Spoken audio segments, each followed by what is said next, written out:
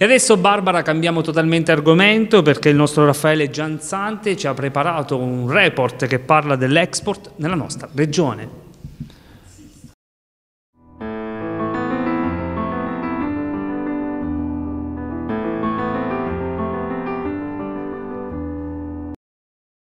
Sono le grandi multinazionali dell'automotive e della farmaceutica a trainare l'export abruzzese. Lo dice uno studio realizzato da Aldo Ronci su dati Istat e Coweb per conto di CNA Imprenditori Abruzzo.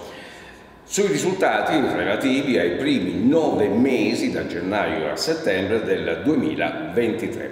Io ci dico che i pilastri dell'export abruzzese sono diventati due perché all'automotive si è aggiunto il farmaceutico. Infatti il, le, il, i mezzi di trasporto hanno contribuito all'incremento di 206 milioni, per, per il 46% hanno contribuito i mezzi di trasporto, per il 39% il farmaceutico e quindi complessivamente mezzi di trasporto e farmaceutico hanno eh, hanno contribuito all'85% dell'incremento dell'export, quindi si può dire che sostanzialmente l'export è dovuto a questi due settori e quindi giustamente oramai i due pilastri sono automotive e farmaceutiche.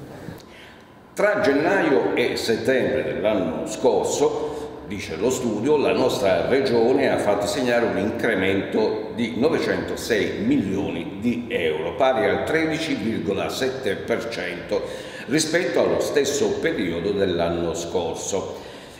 Se allora l'insieme dell'export regionale ammontava a 6.615 milioni di euro, nello stesso periodo del 2023 dello scorso anno si è passati a 7.521 milioni di euro dato che piazza la nostra regione al quarto posto in Italia rispetto a una media italiana che è 14 volte inferiore a quella abruzzese.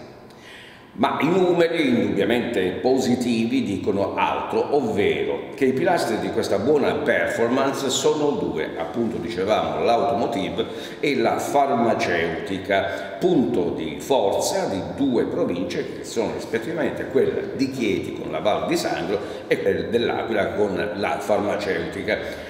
Dei 906 milioni di incremento registrati, infatti, eh, se eh, vero che la fetta maggiore, vale a dire 418 milioni pari al 46%, è dovuta ancora alla produzione dei mezzi di trasporto realizzati in Val di Sangro, è pur vero che il comparto della farmaceutica e dei medicinali arriva a una crescita di 354 milioni. Andiamo a vedere quali sono le le performance delle varie province. E cominciamo chiaramente da quella di eh, Chieti più 429 milioni di euro, l'Aquila più 249 milioni di euro. Segue il Teramano con 161 milioni in più, una dote particolare data la versatilità del territorio teramano dove insistono prodotti tessili, abbigliamento, alimentare e accessori veicoli. In coda c'è Pescara, che evidentemente non ha una vocazione all'export, soltanto più 66 milioni di euro. Quindi due settori sono trainanti per l'export. Sì. Sono?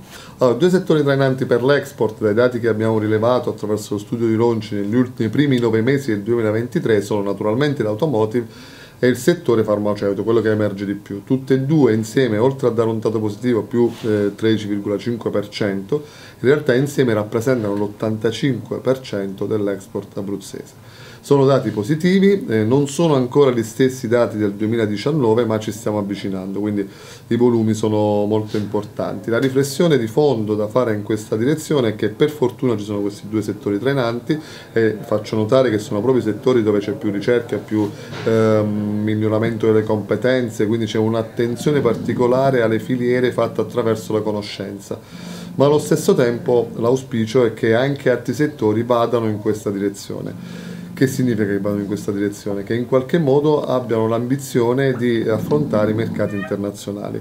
Mi riferisco soprattutto ai settori dell'agri-food, del beverage e ai settori del Made in Italy, quindi il tessile, l'abbinamento e il calzaturiero, che hanno una vocazione innata al, al, all'export. Noi abbiamo, eh, tra l'altro, dietro stimolo di alcuni partner internazionali che stanno a Dubai e in Malesia, perché eh, sono considerati dei, dei mercati in crescita, normalmente in crescita, gli stessi intermediari che provengono da questo mercato ci stanno contattando e noi abbiamo costruito con loro una tavola rotonda che faremo nei prossimi giorni che, sarà, che cercherà di intercettare attraverso un partenariato allargato proprio eh, un'offerta interessante per questi mercati. La vera scommessa è trovare anche soluzioni finanziarie ma anche modelli organizzativi che siano in grado di avere una massa critica e un'offerta adeguata per affrontare poi una scommessa così importante.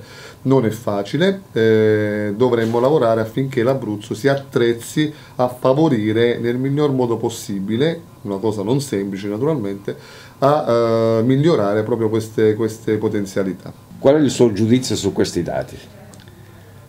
Eh, questi dati sono dati positivi che noi accogliamo favorevolmente e quindi ci vanno benissimo. Il problema che noi diciamo sì, vogliamo capire è come le nostre piccole imprese si possono agganciare a questa, questo importante momento di esportazione in Abruzzo perché e vediamo che sono soltanto le imprese più strutturate mh, mm, a livello sia farmaceutico che dell'automotive e forse le nostre imprese fanno molto più fatica a, a agganciarsi a questo momento di export. Quali sono le indicazioni che si potrebbero fornire, dare alle piccole imprese per agganciarsi a questo treno? Ma sicuramente la capacità di mettersi insieme, sicuramente la capacità di trovare eh, nuovi investimenti, usare meglio la tecnologia, però sicuramente eh, in questi casi eh, l'accesso al credito è molto importante e quindi bisognerebbe trovare delle soluzioni per dare maggiore possibilità alle piccole imprese di accedere al, cre al credito per avviare questi questi diciamo, rapporti di esportazione, magari con aiuti delle camere di commercio, non so, che qualcosa già si fa, però forse potrebbe fare un po' di più. Dalla CNA che cosa può uh, svilupparsi? Noi come CNA cerchiamo di aiutare le imprese, come stavo dicendo, sia cercando di metterle insieme, quindi di creare de de delle reti di imprese per farle sviluppare, cerchiamo anche di accompagnarle nel, nello sviluppo di progetti e quindi di formazione e di sviluppare nuove competenze in modo che quando si approcciano a questi nuovi mercati hanno, hanno, trovano meno difficoltà. È vero questa, eh, questo aumento di occupazione in questi ultimi mesi dell'anno scorso? Sì, c'è un aumento di occupazione, però c'è anche tanta carenza di manodopera qualificata che noi piccoli imprenditori facciamo fatica a trovare e quindi la formazione diventa fondamentale e si attinge anche a, diciamo così, a extracomunitari che sono, stanno diventando una risorsa. Contratti a tempo determinato o indeterminato? Allora, nelle piccole imprese eh, sicuramente all'inizio è un contratto a tempo determinato, ma poi si favorisce il, quello indeterminato perché allora, il valore di un collaboratore è prezioso e quindi eh, per noi è un investimento, non possiamo, una volta che iniziamo un percorso o un contratto e ci teniamo a tenere le persone che, per tenerle nel nostro interno perché facciamo fatica a trovarle. La CNA rappresenta soprattutto piccole e medie imprese. Sì. In questo export, in, su questi dati, qual è il loro ruolo? Il nostro ruolo in questi settori sono più da subfornitori, quindi le piccole e medie imprese sono inserite in una catena di subfornitura molto importante, quindi sono fornitori privilegiati, quindi questo, questi settori in realtà sono da traino per le piccole e medie imprese che rappresentano proprio dei fornitori di eccellenza per questi settori.